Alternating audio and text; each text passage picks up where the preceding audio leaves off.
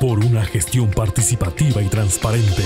El gobierno regional de Ayacucho convoca a las autoridades regionales, provinciales y distritales, dirigentes, organizaciones de sociedad civil y población en general a participar de la segunda audiencia pública regional 2015 con la finalidad de informar sobre los logros alcanzados durante este primer año de gestión y los desafíos del 2016. La segunda audiencia se desarrollará este martes 22 de diciembre a las 9 de la mañana en el Coliseo Cerrado, Ciudad de Caracas, IPD.